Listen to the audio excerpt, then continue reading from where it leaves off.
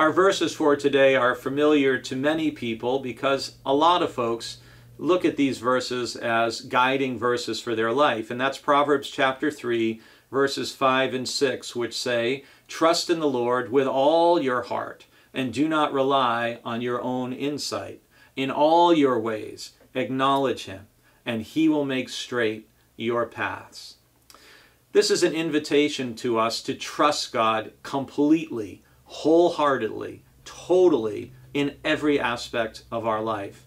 For some of us, part of our growing in faith and maturing in faith is recognizing that our, our trust in God hopefully grows over time. We don't immediately trust God with our whole heart or with all of our heart.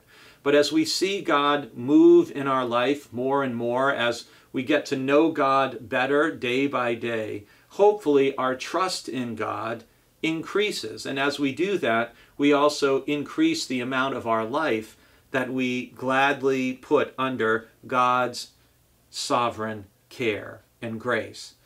But it's also a challenge not only to trust the Lord with all our heart, but also not to rely on our own insight.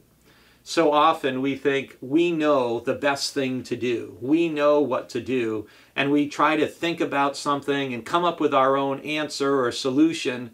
And then we pray and ask God to bless what we've figured out rather than seeking God's wisdom and insight and asking God to tell us, God, what is the best path for me to take? What is the best decision for me to make in this situation?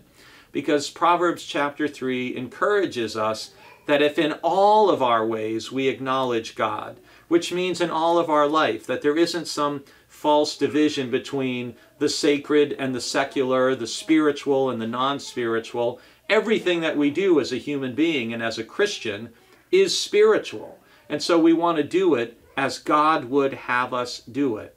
And Proverbs 3, verse 6 tells us that if we acknowledge God in all of our ways, that He will make straight our paths and guide us forward.